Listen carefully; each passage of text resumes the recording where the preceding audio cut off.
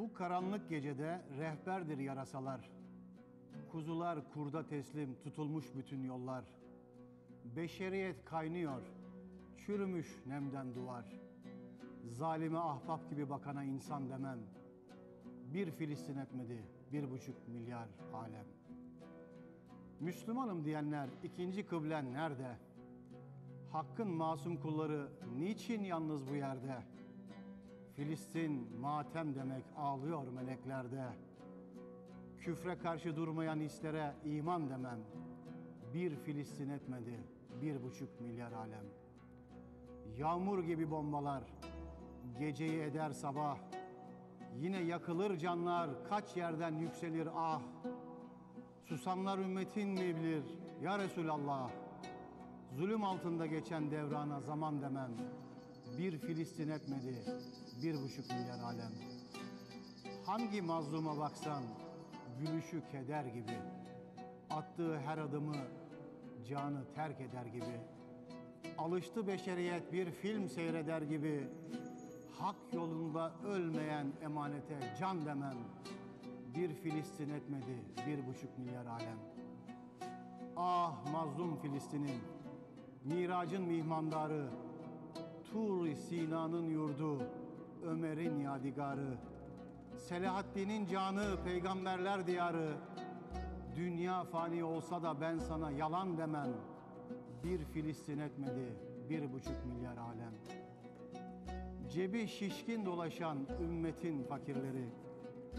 Başınızda gezdirin petrollü varilleri. Sizler sahip çıkmazken düşman ne yapsa yeri. Gafletten horul horul yatana insan demem. Bir Filistin etmedi bir buçuk milyar alem. Kulağın sağır olmuş, duymaz ağlayanı. Ne zamana kadar sen saklayacaksın canı?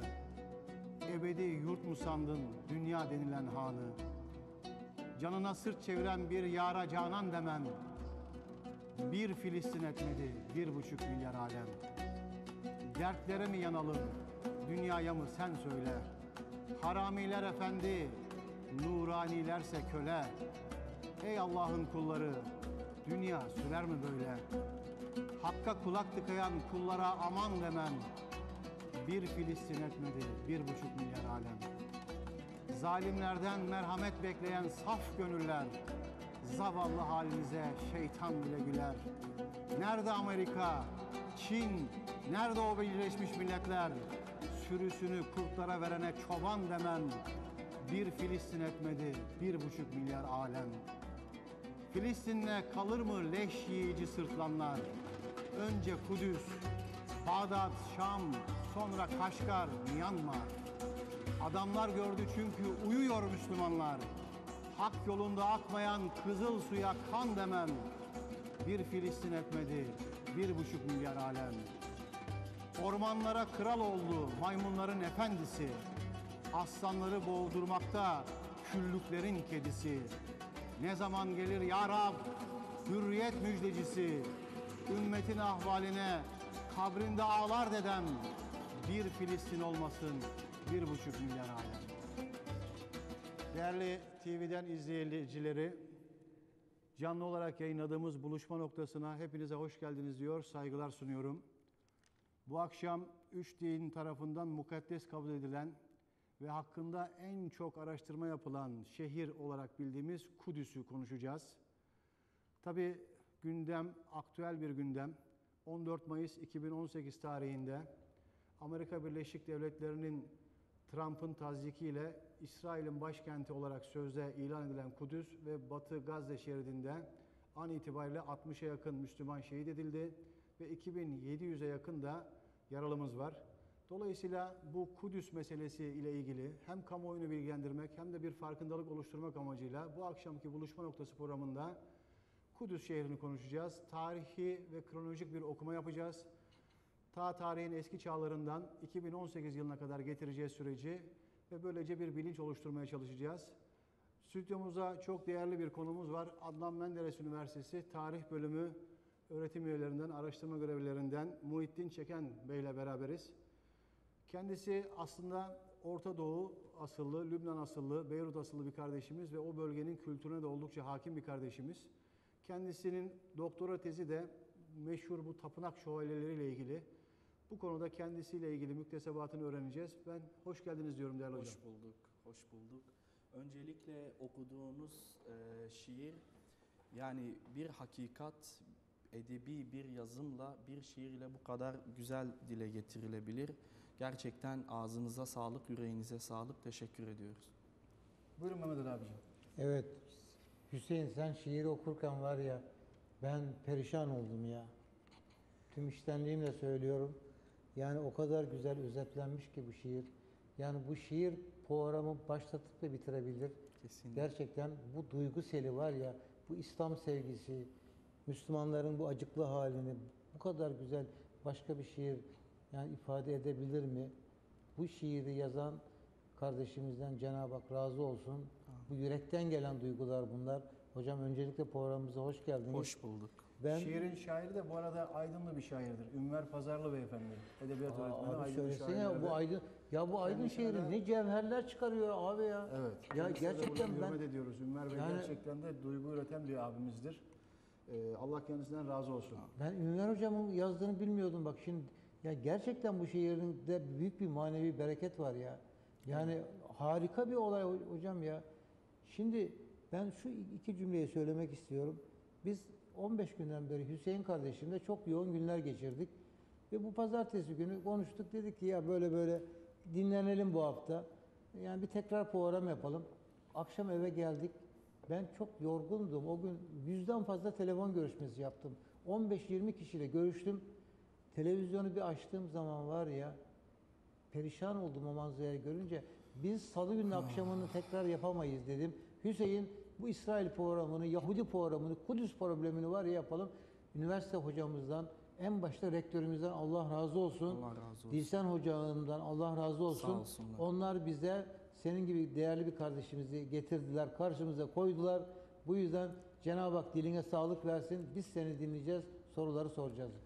Evet, bir buyurun. mukabele diyorum. Ben de e, Bize kendinizi güzel bir şekilde bir tanıtır mısınız? Öncelikle böyle hassas bir konuda ve yıllardan beri İslam dünyasının kanayan bir yarası haline gelmiş Kudüs gibi bir meseleye mazlumların gerçekten mazlumların gözüyle ve böyle bir programda dile getirdiğiniz için, böyle bir program oluşturduğunuz için ben teşekkür ediyorum hepinize öncelikle. Ben Muhittin Çeken, 1986 doğumluyum. Dediğiniz üzere Lübnan kökenli e, bir aileye mensubum. Annem, babam ve ben Mardin'de doğduk. Ve 1996 yılında Mardin'den e- daha iyi bir eğitim almak üzere İzmir'e göç ettik. Atalarınız bu arada Beyrut'ta yaşamaya Beyrut'ta ediyorlar mı? tabii yani e, çok fazla kalmadı açıkçası. Sadece orada birkaç tane böyle akrabayı talukatımız kaldı. Onun dışında e, büyük bir çoğunluğumuz, ailemizin büyük bir çoğunluğu şu anda Türkiye'de. Yani Türkiye'nin çeşitli bölgelerine dağılmış durumdalar. Mardin'de olan var, Antalya'da olan var, Kocaeli'de olan var, İzmir'de olan var bu şekilde. Ben 2007 yılında Celal Bayar Üniversitesi Tarih bölümüne başladım. Gerçekten tarih bölümünü özellikle küçüklüğümden beri isteyerek başladım. Çünkü ben tarihin bir milletin hafızası olduğunu biliyorum. Ve aldığım küçüklükten beri aldığım eğitim tarihin bırakın bir insan için bir millet için ne kadar önemli bir bilim dalı olduğunu biliyorum. Düşünün yani hafızanızın son 5 senesini sizden aldıklarını düşünün. Belki birçoğumuz evimizin yolunu bilemeyiz. Birçoğumuz akrabalarımızı tanıyamayız. Birçoğumuz hiçbir şekilde çevremizi, etrafımızı bilemeyiz. Tarih öyle bir bilim dalıdır. Ve ben severek isteyerek 2007 yılında Celal Bayar Üniversitesi Tarih bölümüne başladım. 2011 yılında mezun oldum. 2011 yılında da yüksek lisans tezi olarak Ortaçağ Ana Bilim dalına yüksek lisans olarak da başladım ve yüksek lisans tezi de Kudüs tarihi. Kudüs tarihi üzerine yaptınız Evet, Kudüs tarihi üzerine çalıştım. Şu anda yine Celal Bayar Üniversitesi'nde e, doktora çalışmalarımı sürdürüyorum ve doktora tezimde tapınak şövalyeleri. Tapınak şövalyeleri de Kudüs'te kurulmuş Batı kökenli ilk dini terör örgütü. Biz onun başlık müstakil soru halinde geleceğiz zaten tapınak şövalyelerine. Hocam şimdi tabii emperyalizmin kıskacında bir şehrin aslında anatomisini bugün sizle biz Evet. e, konuşacağız ve e, bir kamuoyu oluşturacağız. Tarih içerisinde programın başında da söylediğimiz gibi aslında üç dinin e, merkezi e, olmuş tek şehir Kudüs. Kesinlikle. Ve üzerinde dünyada en fazla araştırma yapılan e, yer, e, şehir burası. Tabii e, Kudüs dünya kamuoyunu neden bu kadar meşgul ediyor hocam? Hemen Evet. programa böyle bir girelim. Çok güzel bir soru. Şimdi evet, neden Kudüs? Neden bir Paris değil, bir Londra değil veya Orta Doğu'nun herhangi başka bir şehri değil de neden Kudüs? Yani Kudüs'ün çok önemli yeraltı zenginliği var da o yeraltı zenginliğine sahip olabilmek için ülkeler yıllardan beri Kudüs üzerinde bir hakimiyet mücadelesi mi veriyorlar? Hayır. Yani belki de Orta Doğu şehirleri içerisinde yeraltı zenginliği bakımından en fakir şehirlerden birisi Kudüs'tür. Peki Kudüs öyle bir toprak, bereketli toprak bütünlüğüne sahip ki orada yetişen çok özel bir meyve ve dünyanın hiçbir yerinde yetişmeyip sadece burada yetişip ve buraya sahip olan güç tarafından bu meyvenin ihracatı üzerinden büyük bir gelir mi elde ediliyor? Hayır değil. Ya buradan şunu çıkarıyoruz. Kudüs'e ekonomik açıdan bakmamak gerekiyor. Bakamayız. tabii. Bakamayız. Yani bize tarihsel veriler ve Kudüs'ün bulunduğu konum, coğrafya bize bu şehre kesinlikle dini açıdan bakmamız gerektiğini gösteriyor. Şimdi Kudüs dünyada üç ilahi din tarafından mukaddes kabul edilen tek şehir. Hangi dinler? Sırasıyla. Bunlar kronolojik olarak Yahudilik, Hristiyanlık ve İslam. Şimdi Yahudiler diyorlar ki Kudüs bize Allah tarafından vaat edilmiş bir topraktır diyorlar. Arz-ı yani mev'ud. arz-ı mev'ud. Yani kendilerine Allah tarafından vaat edildiğine inandıkları topraklar toprak.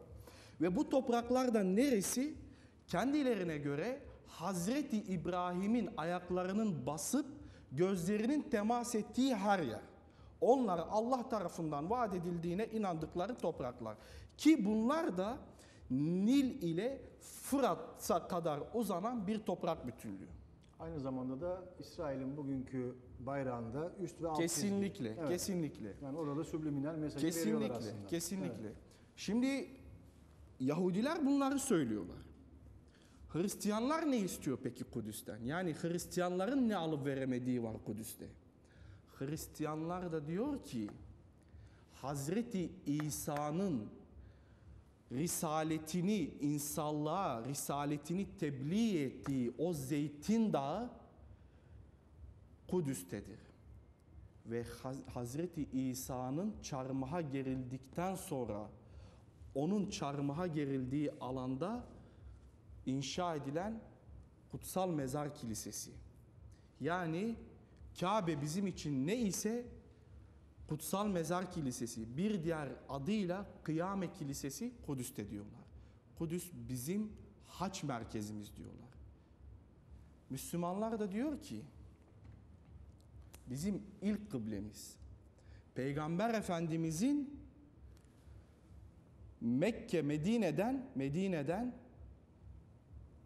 miraca çıkmak üzere Kudüs'e gelip Kudüs'ten miraca yükseldiği şehirdir diyorlar. Mescid-i Nebevi'den, Mescid-i Aksa'ya, Nebevi'den Mescid-i Miraç'a. Aksa'ya oradan miraca ve İsra suresinde de bu anlatılıyor ve geçiyor. Şimdi geçenlerde bir program izliyordum, bir tartışma programı. Orada sa- yanılmıyorsam ilahiyat çıkıştı. Bir hocamız şöyle bir eee, söylemde bulundu.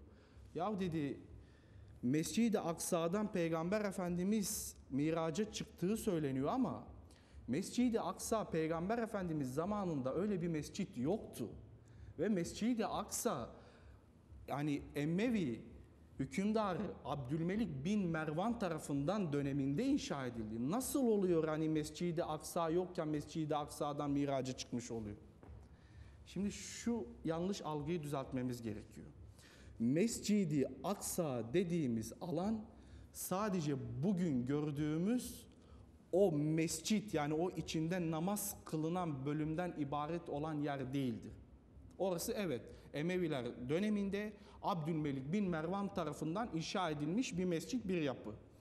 Ama Mescidi Aksa 144 bin metrekarelik bir alanı oluşturan bugün Mescidi Aksa'nın o mescidin üstünde olduğu daha sonra Kubbetüs Sahra'nın orada olduğu ve eski Süleyman Tapınağı'nın bulunduğu yani Hazreti İbrahim'in oğlu Hazreti İsmail'i kurban etmek için Allah için Allah yolunda kurban etmek üzere götürdüğü o Moriyah tepesinden oluşan 144 bin metrekarelik bir alan. O lokasyonun O genel adı. lokasyonun genel adı Mescid-i Aksa. O zaman şöyle bir soruyla devam edelim. Mehmet Ali abi. Sizin sorunuzu alalım. Hazreti Süleyman Şimdi e, bu tarih süre içerisinde tabii Hazreti Süleyman dönemi var o topraklarda Evet. ve Roma'nın hakimiyetine kadar bir geçen bir süreç var. Evet. Bu çerçevenin içerisinde Kudüs'ün bir genel tarihi hakkında biz sizden bilgi alsak ya hocam. Şimdi biz Hazreti Süleyman dönemiyle alakalı bilgileri Tevrat'tan öğreniyoruz. Yani Tevrat çok kapsamlı ve çok detaylı bir biçimde Hazreti Süleyman dönemini anlatmış. Şimdi Hazreti Süleyman'dan önce Hazreti Davut'un şehri alarak orada bulunan 12 şehir dev- e, devleti halinde bulunan oradaki o şehirler topluluğunu tek bir çatı altında birleştirip büyük bir Yahudi krallığı oluşturuyor. Hazreti Davut ve milattan önce bin yılına tekabül ediyor bu tarih. Hazreti Davut Peygamberimizden 16, 16 Tabii asır evet öncesinde kesinlikle. yani. Hazreti Davut'un çok büyük bir hedefi vardı. Ben diyor yani büyük bir krallık kurdum. Büyük bir siyasi teşekkül meydana getirdim. Ancak bu krallığın merkezi durumuna, konumuna geçecek bir tapınağı yok. Evet. Ve benim bu tapınağı inşa etmem gerekiyor diye bir e, beklenti içerisine girdi. Eski şehir Side devletleri de tapınaklar, ibadethaneler etrafında Kesinlikle, şekillendiği için, kesinlikle, evet. kesinlikle. Şimdi Hazreti Davut bu beklenti içerisindeyken Allah tarafından yani yine Tevrat'a göre söylüyorum bunu.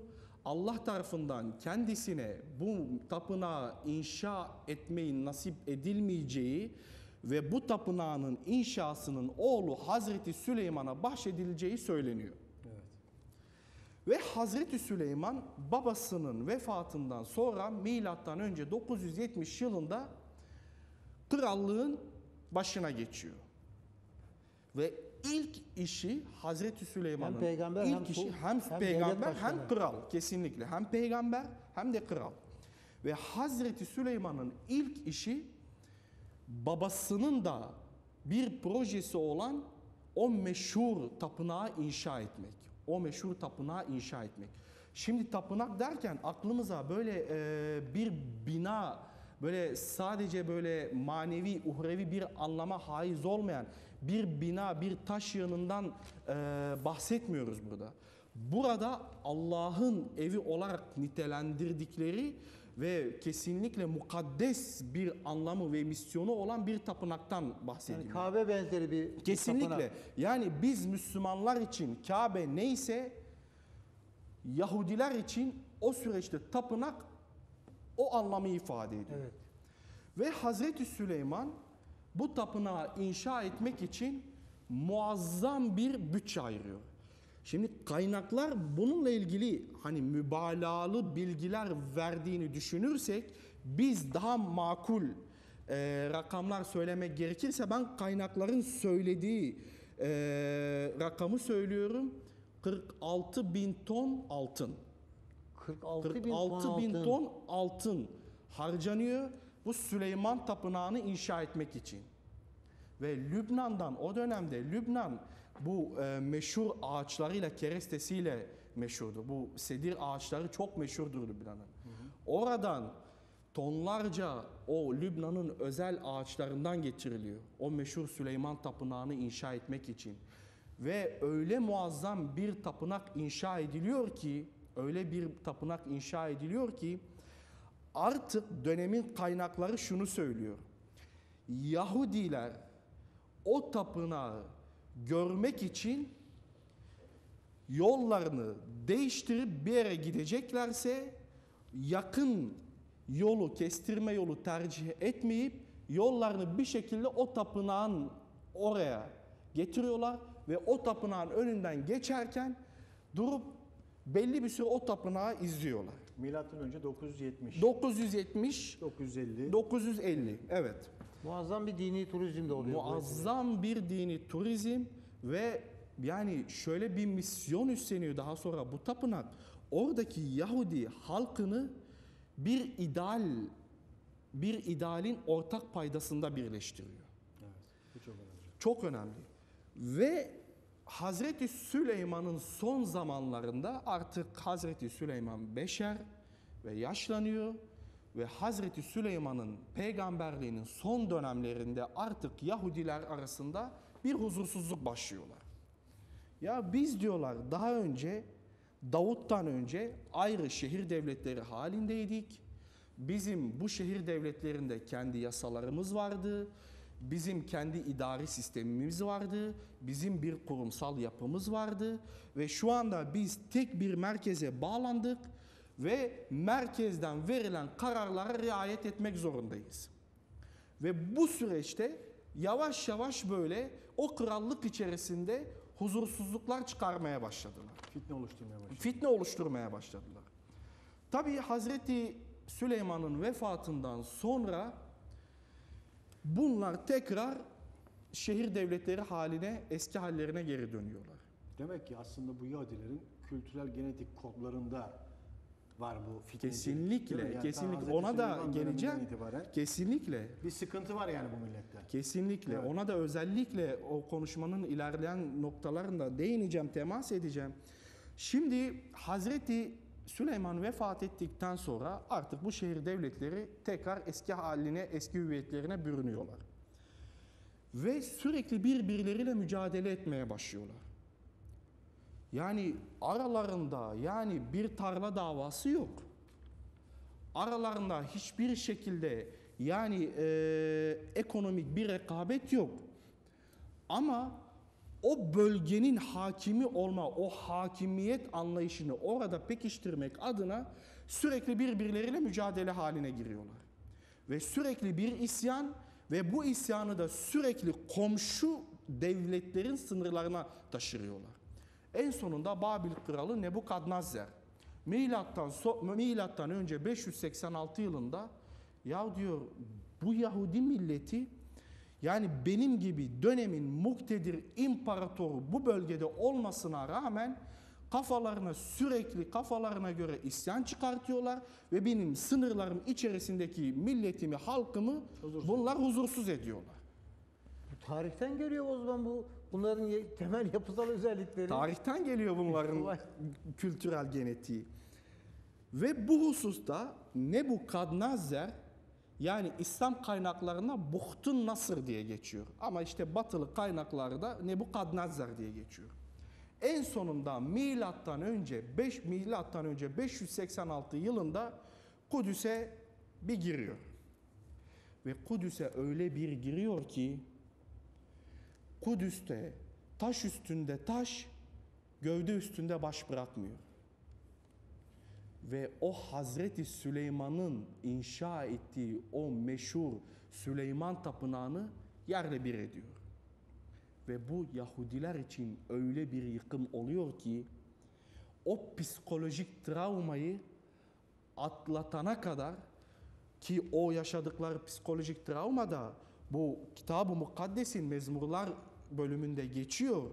Öyle bir ağıtlar yakmışlar. Öyle bir feryat figanlar etmişler ki yani insan okuduğu zaman onların ne olduğunu bilmese oturacak üzülecek onlara. Ve nitekim onları Kudüs'ten sürgün ediyor. Siz Kudüs'ü hak Meşhur etmiyorsunuz. Tarihi Yahudi sürgün. Kesinlikle bu buna. ilki. Ha, ilki bu. İlki, ilki bu. Ve onları İran bölgesine sürgün ediyor. Daha sonra Nebukadnezar öldükten sonra burada bu İran coğrafyasında Perslerle bu Babiller arasında bir hakimiyet mücadelesi yaşanıyor. Ve bu hakimiyet mücadelesini Persler kazanıyor ve Babil İmparatorluğunu tarihin dehlizlerine gömüyorlar. Babil şey Pers İmparatoru bakıyor ülkesindeki Yahudi nüfusuna bakıyor. Ve Yahudilerin geçmişte kendi bölgelerinde neler yaptıklarını araştırıyor. Bunları öğreniyor. Ve bunları o bölgede tutmanın imparatorluğu içerisi için gelecekte nasıl bir tehlike arz edebileceğini analiz ediyor Öngörüyor. öngörüyor. Ve bunlara tekrar kendi bölgelerine yerleşip o meşhur tapınaklarını tekrar inşa etmelerine müsaade ediyor. Ve Babililer tarafından o meşhur tapınak tekrar inşa ediliyor. Ve Yahu Persler tarafından. Ve Yahudiler dönemi içinde, Yahudiler tarihi içerisinde ikinci tapınak dönemi başlıyor. Şimdi bölge milattan önce 63 yılında Roma hakimiyetine giriyor. Şimdi Roma hakimiyeti, Roma İmparatorluğu tarihin gelmiş, görmüş en büyük ve en uluslu farklı milletlerden oluşan imparatorluğu. Büyük azametli bir imparatorluk. Kesinlikle, kesinlikle. Şimdi Roma öyle bir imparatorluk ki Roma'nın şöyle bir siyaseti var. Roma kendi bünyesi içerisinde barındırdığı farklı milliyete sahip o kavimlere her zaman hoşgörüyle yani çoğu zaman daha doğrusu her zaman demeyelim çoğu zaman hoşgörüyle yaklaşmayı bilmiştir. Şimdi Roma baktı Yahudiler çok farklı bir millet.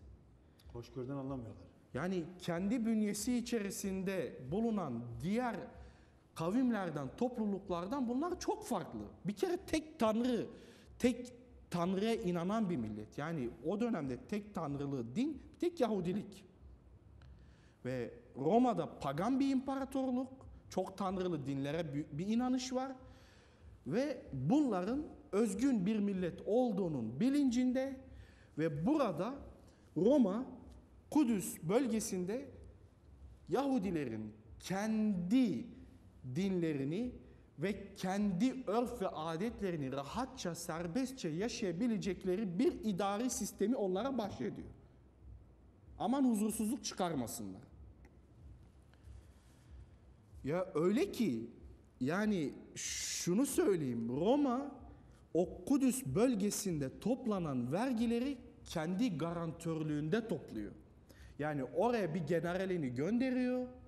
Sen git bu Yahudilerin o tapınak için topladıkları vergileri güvenliğini sağla. Aman bu Yahudiler hiçbir şekilde kışkırtılmasın ve bölgede bir sorun oluşturmasın. Başımıza dert olmasın. Başımıza dert olmasınlar.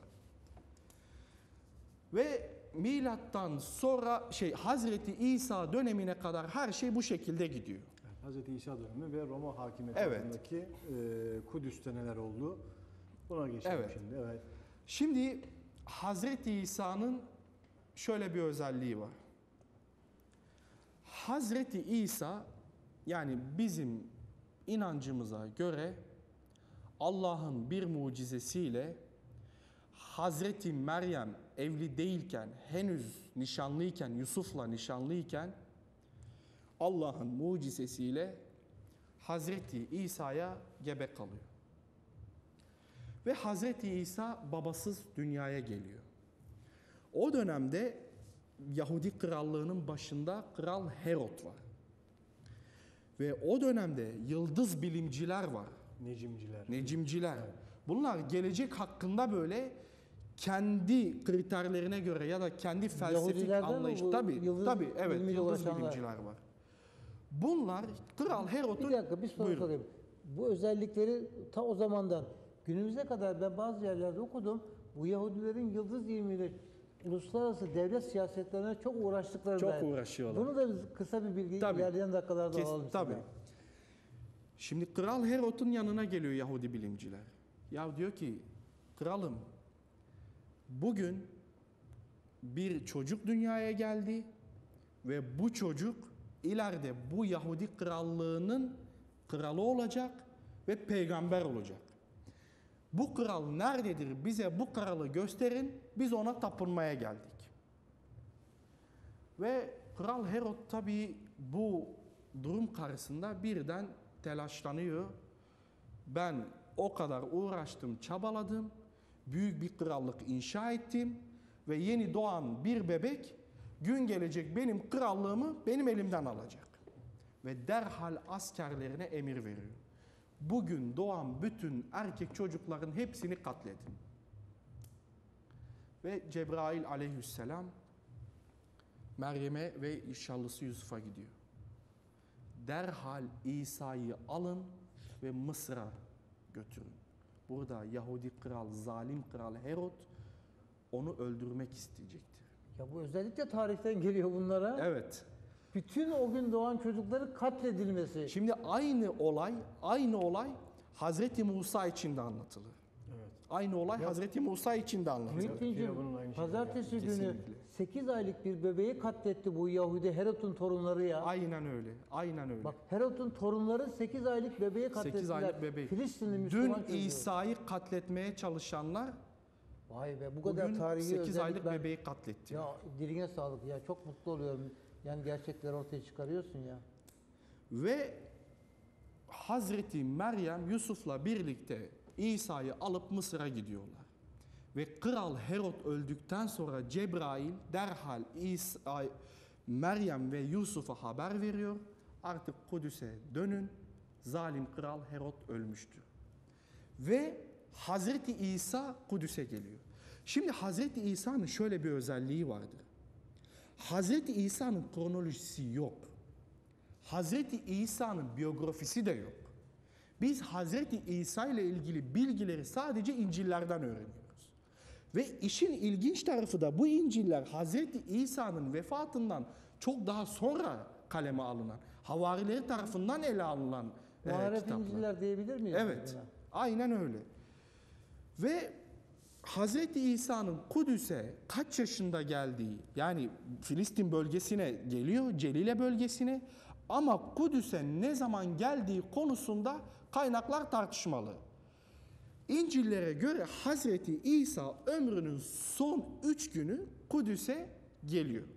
Ve Ömrünün Kudüs son üç, günü. günü. Ve Kudüs'e gelirken de İncil'lere göre Hazreti İsa şunu söylüyor.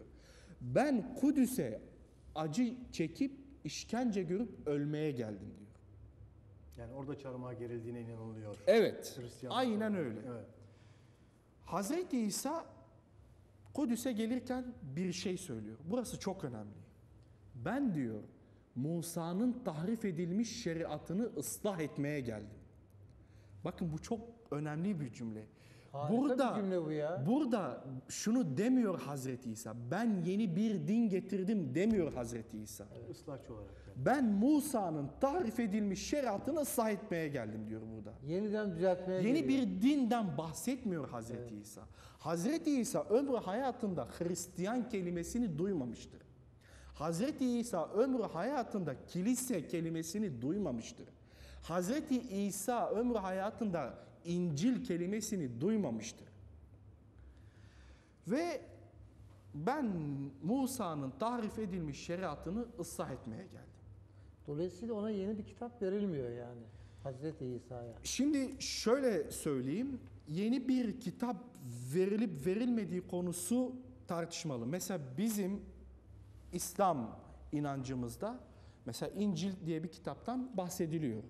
Ama bu İncil kitabının yani Kur'an-ı Kerim'de bahsedilen İncil'in bizzat İsa'ya indirilmiş yani Allah'tan şahsına indirilmiş yani, Allah'tan Allah'tan gelen İncil olup olmadığı konusu bilim dünyasında tartışmalı. Tartışma konusu. Yani böyle bizim inancımıza göre böyle bir Galip kitap olan var. görüş nedir burada bu konuda? Efendim? Galip Hakim olan görüş şimdi şöyle bir şey söyleyeyim. İncil ilk İncil Markos İncil'i Hazreti İsa'nın vefatından 40 sene sonra ortaya çıkıyor. Konsül toplanıyor. Konsül toplanıyor ve çok daha sonra Orta Çağ'a gelindiği zaman ortaya 450 tane İncil çıkıyor. Tabii sonra Ve- Matta, Markos, Yuhanna. Kesinlikle. Ve kilise alıyor bakıyor 400 fa- 450 farklı İncil demek 450 farklı demek. bakış demek, 450 farklı anlayış demek ve biz bunun içerisinden çıkamayız diyor kilise. Ve inanışa göre kilise yuvarlak bir masaya o 450 tane İncil'i koyuyor ve masayı sallıyor ve o sallantı neticesinde masanın üstünde kalan o dört tane İncil'i de gerçek İncil kabul ediyor. Kilisenin anlayışı bu şekilde. Şimdi Hazreti İsa ben Musa'nın tahrif edilmiş şeriatını ıslah etmeye geldim söylemi cümlesi hahamist Yahudi hahamist sınıfında büyük bir rahatsızlık uyandırmaya başlıyor.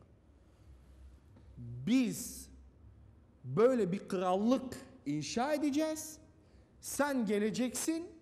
Ben bu tahrif edilmiş dini ıslah etmeye geldim diyeceksin.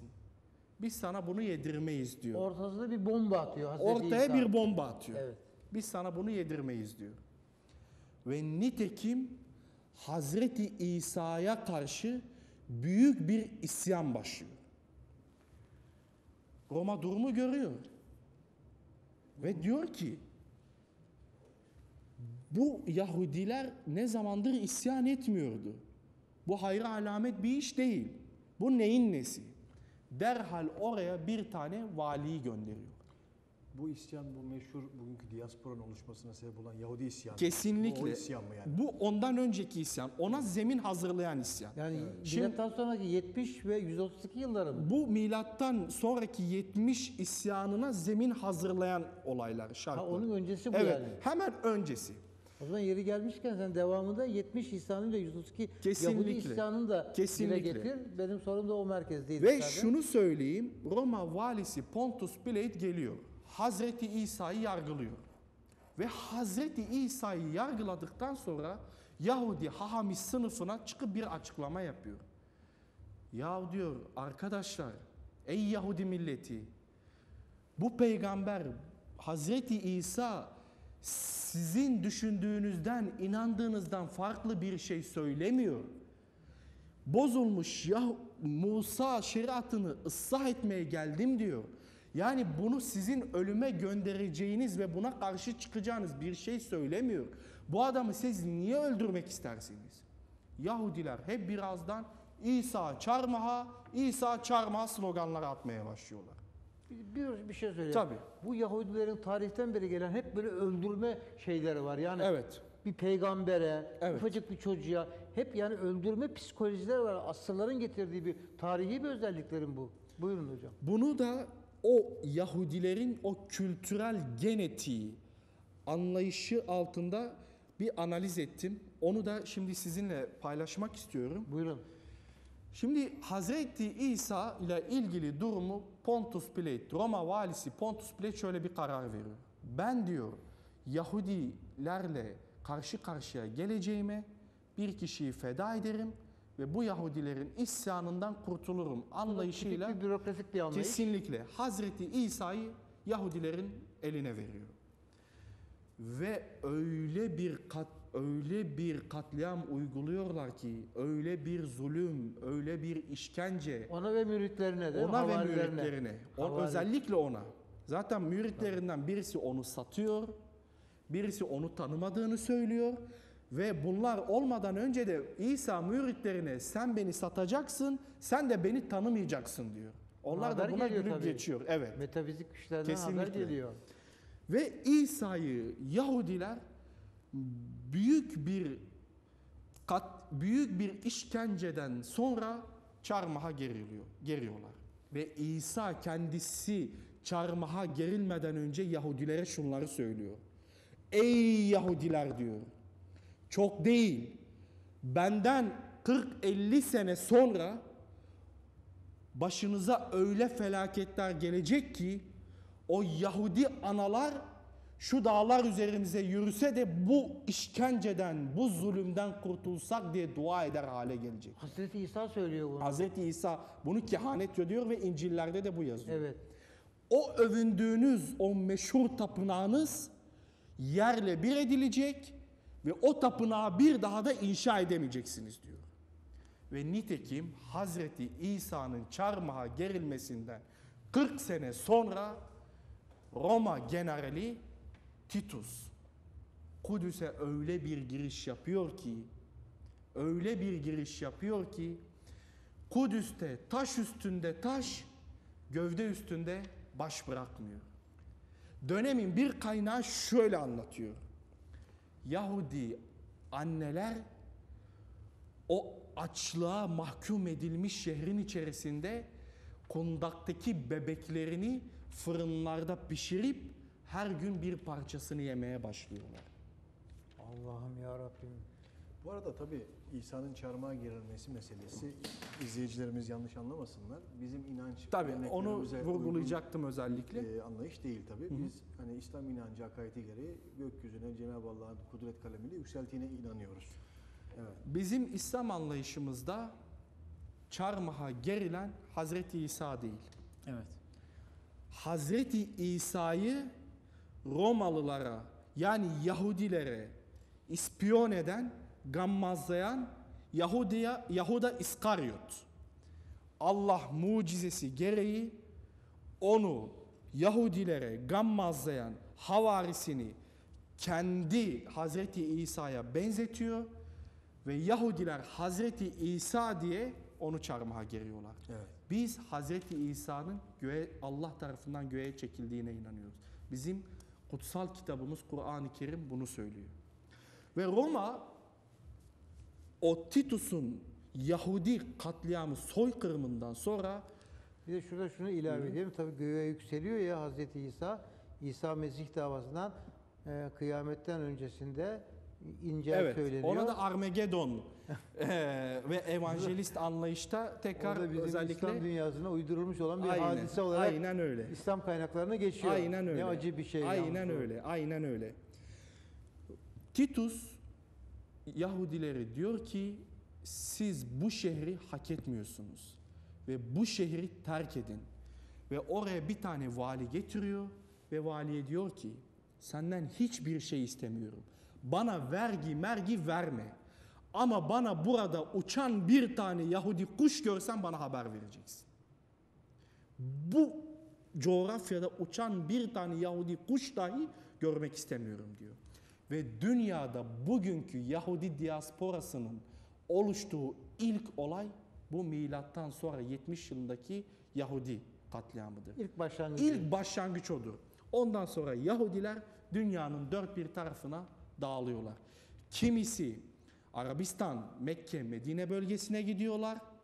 Kimisi Avrupa'ya göç ediyorlar ve dünyada Yahudi diasporası o tarihle birlikte oluşmaya başlıyor.